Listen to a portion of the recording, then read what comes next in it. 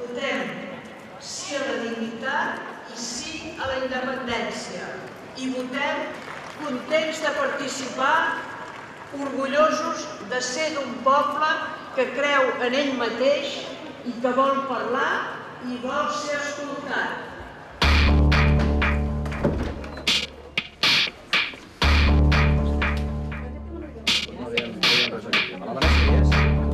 Vanessa.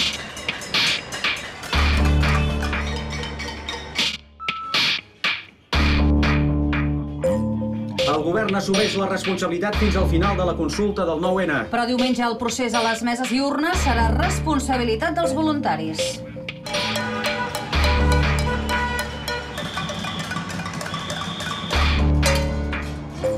Fins al final, el govern liderarà el procés Fins al final. Diumenge, tot a peu d'urna, però el portaran voluntaris. Bona tarda a tothom, som a 7.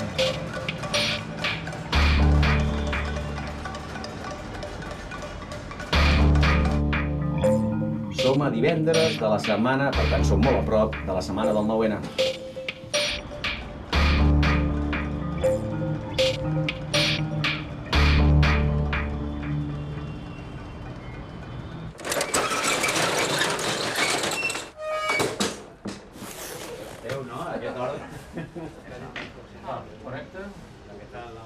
Aquí, a, concretament a Santa Coloma de Gramenet, l'any 2012 érem sis persones. La primera reunió van ser sis persones. La reunió del divendres passat érem 40. Informació. Toma, informació per al, al diumenge. Tinguis informació per lo del diumenge, per anar a votar. I per del diumenge, informació del, del 9N. a la meva època de jove vaig lluitar per fer la revolució. Jo diria que el concepte de revolucionari que teníem no és aquell, però sí és un concepte revolucionari des del punt de vista personal de moltes de les persones. Aquesta revolució personal que ha fet les persones, si aconseguim que s'estengui i contamini més persones, sí pot arribar a ser una revolució social.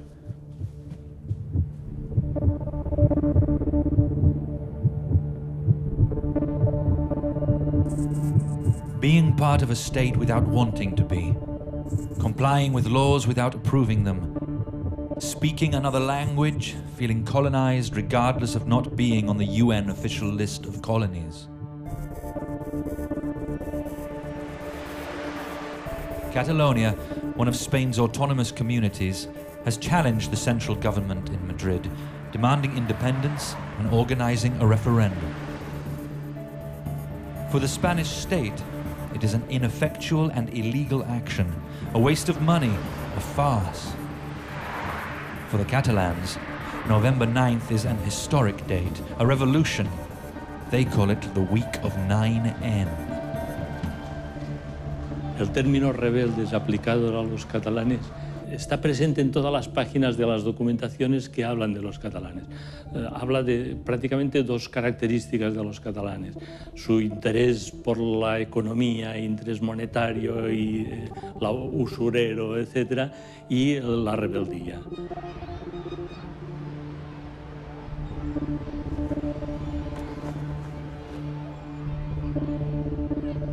Es un tópico común ¿eh?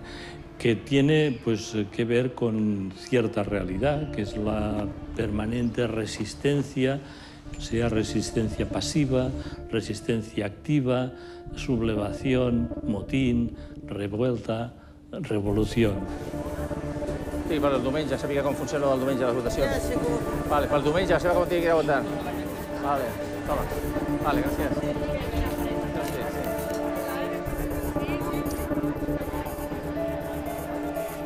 Per del diumenge, us deixo uns quants aquí, si vols. Té, té la votació del diumenge, que sapigueu una miqueta les diferents opinions. Vaig cap allà.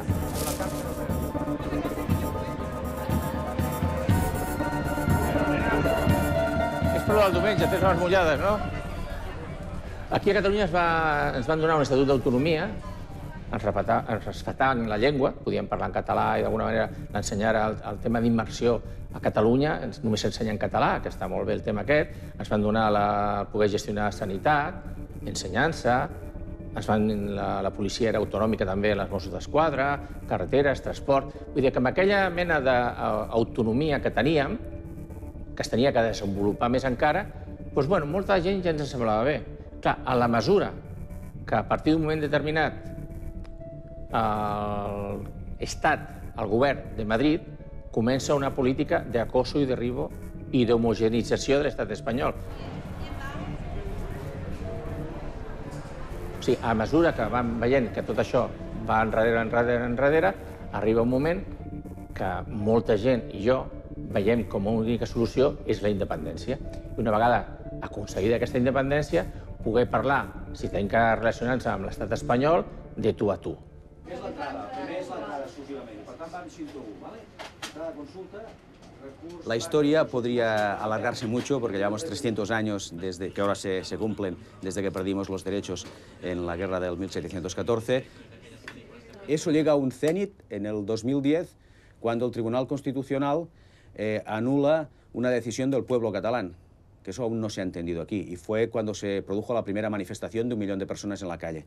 Era un estatuto que podía haber evitado llegar a donde estamos ahora, porque daba unos límites, un, unos, umbrales de libertad, de fiscalidad, de bilateralidad con España muy grandes. Mucha gente se sentía cómoda en eso. Los independentistas eran muy pocos en esos momentos.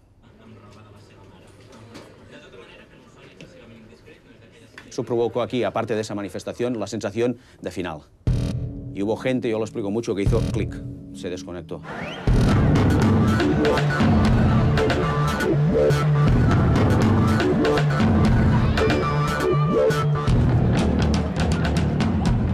Yo recuerdo que de pequeño, o sea, había una tradición en mi casa que era, ah, vamos, al 11 de septiembre, ¿no? que eran otros años, eran muy minoritarios, ¿no? Salían 10.000 personas. Se entendía mal, ¿no? O no, no tenía un apoyo social como lo, lo, tiene ahora. O sea, no veías ah, banderas instaladas por las calles, por los, por los balcones, no. Yo iba ahí y me compraba una, una camiseta independentista, ¿no? Y yo recuerdo que la camiseta yo la quería llevar por la calle y mi, mi madre me decía, no, eso por la calle no se puede llevar, ¿no? solo, eso solo el 11 de septiembre del año que viene.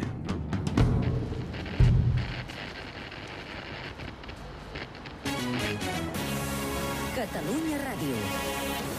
Votar sense por per defensar el país. Demà el Suprem decidirà si anula o no l'acord del Consell de Ministres de recórrer el procés participatiu a petició de la Generalitat. Sí, a petició de la Generalitat que ha acudit al Suprem alegant que el recurs de Rajoy vulnera els drets fonamentals de llibertat d'expressió, llibertat ideològica i de participació. Fons jurídiques veuen poques possibilitats que prosperi el recurs del govern, però cal recordar que si mai la Generalitat volgués acudir a la justícia internacional, abans hauria d'haver esgotat totes les vies judicials a l'Estat i, per tant, hauria de tenir un pronunciament al Suprem. Aquí existe la, la, el convencimiento de que están pasando cosas. Tanta gente en la calle pidiendo que pasen cosas, algo quiere decir. ¿Qué quiere decir eso? Que el gobierno catalán y los partidos catalanes soberanistas aquí han ido a Madrid a pedir un referéndum, que les dejaran hacer un referéndum, como se entiende un referéndum en todos los lugares del mundo, ¿eh? un, un, un, referéndum que, que, tenga consecuencias políticas, ¿de acuerdo? Eso eh, el gobierno español y el Parlamento español lo negó. Acto seguido han intentado hacerlo a través de una ley catalana de consultas que espe específicamente admite que no tiene un valor jurídico ni un valor político, o sea, un valor jurídico no seguro, pero un valor político sí, hecho a través de, un, de una ley eh, elaborada por el Parlamento catalán. Y eso se ha producido, se ha aprobado por el Parlamento catalán y el, el, presidente de la Generalitat ha firmado un decreto donde convocaba esa consulta en, en la fecha ya acordada y con la pregunta acordada por, por todos los partidos políticos. Esa, esa posibilidad de una consulta hecha como se tiene que hacer una consulta sin que sea exactamente un referéndum, eh, lo invalidó el Tribunal Constitucional a través de un recurso presentado por el gobierno español. No es que lo invalidara, lo tiene congelado en la nevera. O sea, ¿es, ¿eso no es legal? No se sabe, está en la nevera. Con lo que, ¿qué se consigue con eso? Que no se puede hacer porque está en la nevera.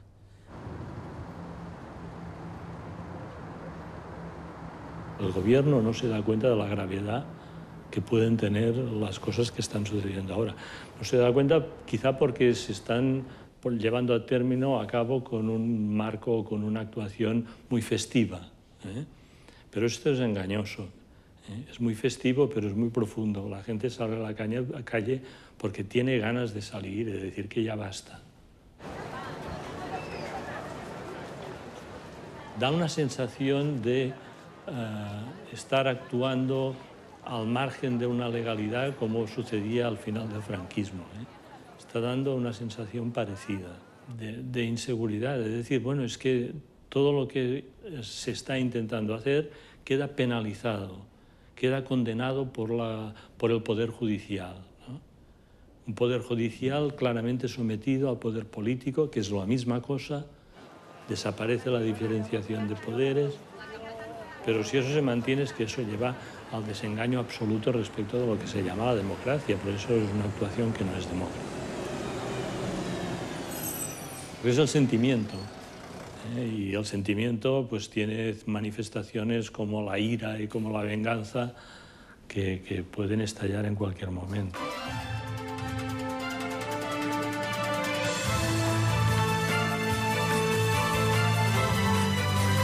I això també ho hem sentit en començar els voluntaris al telèfon, que fins dissabte trucaran a milers de persones per convèncer-los de participar a la votació de diumenge. Han començat just aquest matí i han degut fer algunes trucades ja. I són trucades com aquestes fins al número de, has dit? 309.000. 309.000 trucades. Diu que ja són 309.000 trucades. Trucades com aquestes. Yo soy voluntario, me llamo Francesc, eh, para informarle de que este domingo hay una... Miri, em dic Enric Reus i truco com a voluntari de la consulta del 9N per informar-lo de quin lloc eh, pot anar a votar aquest diumenge. 5.958 58 M. La, Asamblea es una organización de la sociedad civil que está formada por personas que trabajan voluntariamente. Somos 50.000 aproximadamente asociados y simpatizantes, de los cuales que trabajen verdaderamente activamente, pues habrá, la verdad es que no lo sé, en torno a 1.000, 2.000. Pero es una asociación que está muy basada en el territorio. Digamos, eh, cada uno de los pueblos de Cataluña pues tiene su grupito de la asamblea y, a nivel local es donde realmente se aprecia la magia. Y en este sentido es muy importante entender que no, estamos ligados a ningún partido, es decir, no es una asociación partidista, no representamos la voz ni de la derecha catalana ni de la izquierda catalana, representamos la voz de los catalanes que tienen un solo objetivo, que es a conseguir la independencia de Cataluña.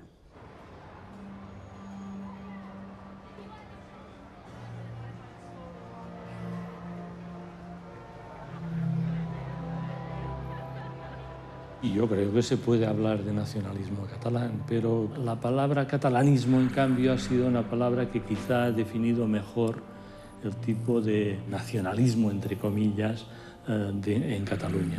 Es decir, sobre todo un nacionalismo que gira en torno a la importancia de la cultura y la lengua catalanas, la, el carácter irrenunciable, diríamos, de la lengua catalana y la conciencia de que la lengua catalana está siempre permanentemente en riesgo. ¿no? Que echamos a tu bisabuela también, que echamos a, Alfonso XIII, también desde Barcelona, porque el rey está en Madrid tranquilamente y aquí salimos a la vacunada a proclamar dos repúblicas, no una, dos.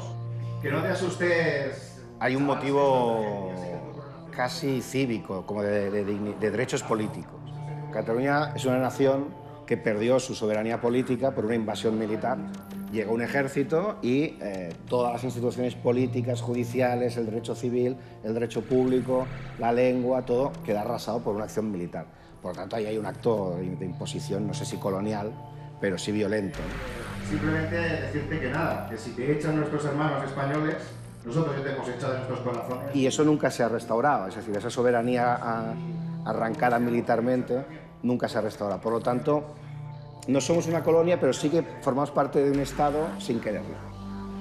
Y vendrás a trabajar a la República Catalana no con la precariedad del Reino de España, sino con garantías, con derechos sociales, con derechos laborales y esperemos que en una cooperativa y dentro de un marco de banca pública y de justicia social. En la segunda mitad del siglo XVIII bueno, es sabido que en Cataluña se empieza a dar una expansión económica que enlaza con lo que será la llamada revolución industrial en Cataluña. pues se toman medidas porque es muy peligroso para el conjunto de la monarquía que Cataluña adquiera tanta fuerza económica y no, tenga, no pueda suponer una amenaza para la propia realidad administrativa de la monarquía.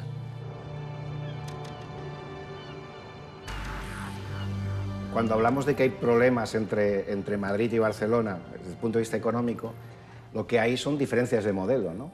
Eh, lo que funciona para la economía de Madrid, que es, eh, es, decir, grandes concesiones para grandes obras públicas a través de, de, un Estado fuerte, es perjudicial para las pequeñas y medianas empresas que hay en Cataluña. Y un modelo que favoreciera eh, las pequeñas y medianas empresas catalanas no sería beneficioso para las grandes instancias de poder de Madrid. Es un país extraño porque Cataluña tiene durante mucho tiempo la mayor población y la mayor renta, pero no tiene el poder político. ¿no? Que te decía, Cataluña tiene un PIB eh, similar a Portugal, por decirlo así. Eh, si hacemos un PIB per cápita, eh, tendríamos un PIB parecido a Dinamarca. El 16% de la población, 19% del PIB, 21% de los impuestos que pagamos y el 25% de las exportaciones. Son, ese sería el retrato de Cataluña. ¿no? El problema es que el diseño de la política económica del Reino de España es estructuralmente injusto, porque son unas grandes élites que eh, se dedican a, extraer recursos en lugar de repartirlos. Por lo tanto, mientras exista España tal como está diseñada, siempre será perjudicial para Cataluña pertenecer a. España,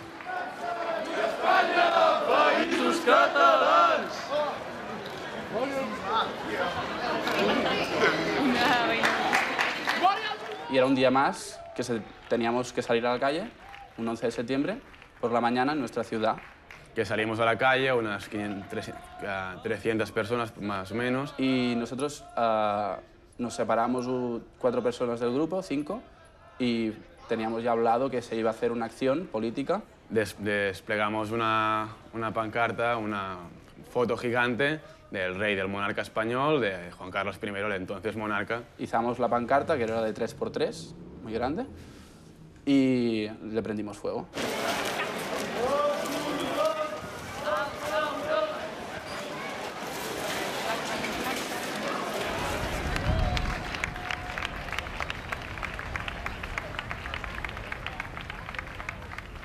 Y nada, nada, no ocurrió nada más, o sea, como, como muchas veces había pasado ya, se habían quemado muchas, muchas más fotos muchas otras veces, ¿no? por expresar nuestro acto de rebeldía, nuestro acto de, de, de, repulsa al Estado español, y no pasó nada más. Lo que pasó es que había dentro de la manifestación, habían policías de paisano.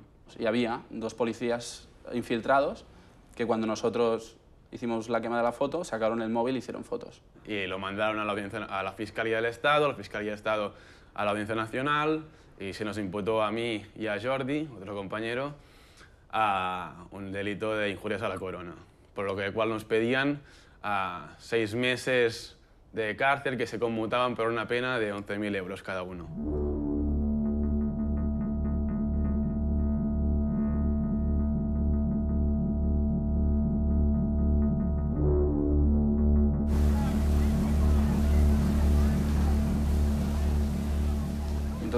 Miramos todas las, las opciones, lo, los problemas que podía haber, la repercusión. Decidimos encarar el proceso uh, con una campaña, una campaña política, porque eso era una acción política y es una campaña política lo que hicimos. Bueno, sabíamos que era un juicio político, por lo tanto íbamos a expresarnos de forma política nosotros. Yo sé hablar perfectamente español, mi compañero también, pero pedimos un intérprete decimos, pues nosotros queremos hablar, hablar en catalán, nosotros queremos declarar en catalán. Y vino un intérprete. Y nos dijeron, el fiscal os ha propuesto un pacto. Retira los cargos de 10.800 euros, paguéis 1.000 euros cada uno y os vais para casa y no hay juicio. Nosotros nos miramos con Guifré y dijimos, no, no, juicio. Y dijo, ah, bueno, si seguís el juicio, os pueden caer 10.800 euros por cabeza dijimos, da igual, juicio. Bueno, nosotros exigíamos que esto era un, y el abogado es lo que, lo que dijo ¿no? delante del juez, que esto era un acto de libertad de expresión, que era un acto de manifestación contra la institución monárquica, contra lo que representaba la institución monárquica, que era la, la opresión a nuestro pueblo. ¿Usted estaba el día de la manifestación del 11 de septiembre en Mataró? Sí. ¿Estaba en la manifestación? Sí. Ah, ¿Estaba con Guifre Peguera? Sí. ¿Tú has ah, quemado la foto del rey? Yo dije, no. Porque no la había quemado yo. La había quemado otro compañero que no estaba identificado. Pero dije, pero es que no tengo ningún problema en decirlo. Si hubiera sido yo, diría que he sido yo. Y lo haría. Y no tendría ningún problema en hacerlo porque son mis ideas políticas y me reafirmo en ellas. Se quedaban un poco sorprendidos. Porque, claro, no esperaban esta respuesta. La pena que se me han puesto es, son 900 euros a mí y 900 a mi compañero. Y en el caso de que no se pague, un mes de prisión. La democràcia està en joc diumenge. I hi ha un estat autoritari Ah, Hoy en día aún hay que pagar la multa que es 1.800 por, la- por nosotros, más los gastos del juicio, más ah, la campaña antirrepresiva, más los gastos del abogado y todo eso. Y esto lo estamos pagando pues, ah, pues con actos de solidaridad o vamos a vender ah, banderas esteladas, un- una camiseta, no sé qué. Es el doble juego que jugamos.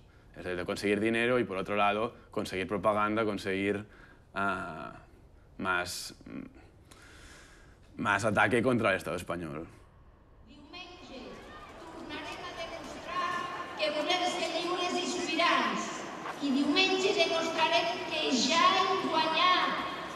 Que ja hem guanyat.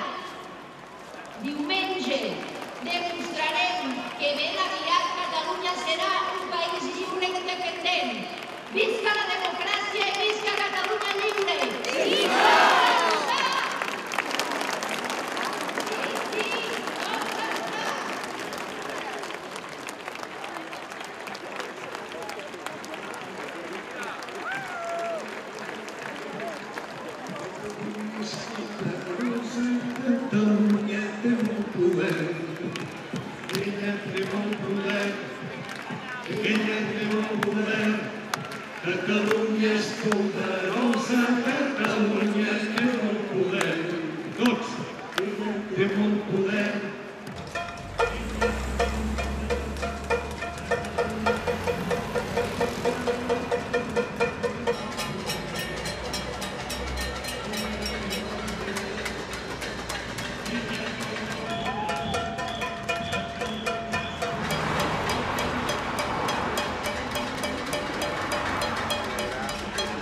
Únic per part de tota l'estructura del cos. Doncs ja només queda dissabte, ja només queda un dia per arribar al 9-N. En aquests moments, a les 7 i 14 minuts, gairebé 15, el govern fins al final. Madrid no dona pistes, els silencis del Constitucional, que podria ser que poguessin ajudar, i els Mossos tranquils. El resum de tot plegat. Carme Clèria, Cell Feixes, Marcel Cosser, Marc Corado, gràcies, bona tarda. Adéu, bona tarda. Bona tarda. Bona tarda. Bona tarda.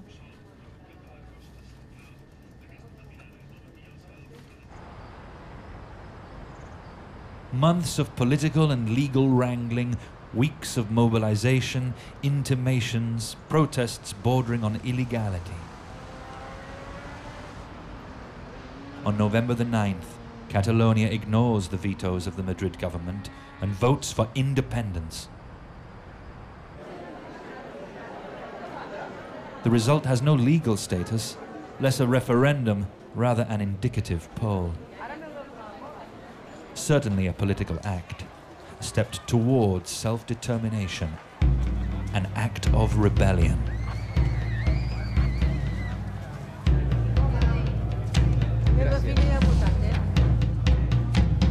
Lo que pasa es que en cada país eh, la movilización contra, contra la precarización y contra el expolio que supone esta crisis tiene, tiene unas formas diferentes. ¿no? Y en Cataluña eh, ha adoptado la forma de independentismo, porque es una, una reivindicación antigua, porque parece razonable, porque el Estado español es especialmente hostil. Por lo tanto, es la misma indignación que hay desde Lisboa hasta Nicosia, por decirlo así, lo que pasa es que aquí se expresa a través de este movimiento político. Yo no me he considerado nunca ni me considero nacionalista, pero independentista tal como está en este momento el, el poder del Estado español, Yo creo que está demostrando que el, el gobierno y el Estado que intenta mantener de forma tan estricta este gobierno no es capaz de dar respuesta a estos, a estos problemas. Después de este 9N tiene que haber unas elecciones y después de las elecciones hay dos, dos vías. Unos que dicen llamar a Madrid y decir, bueno, ¿qué? Y otros que dicen no llamar a Madrid y hacer. Uh, Manel, Seguramente es, es difícil y seguramente es muy difícil, pero es posible.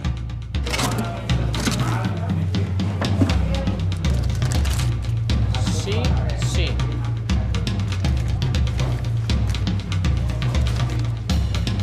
Sí, sí. Per Josep Pitar, que el que és la independència, el que t'hi dic. Jo crec que haurà que negociar molt i com serà no ho sé. Sí, no.